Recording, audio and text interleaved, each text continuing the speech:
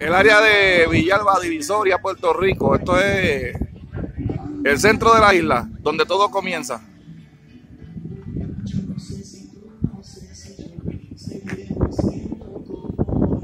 Un domingo chévere para estar de chinchorreo, como dicen los boricuas. sé dónde vamos a parar. Eso ya la piel nos morirá para popular y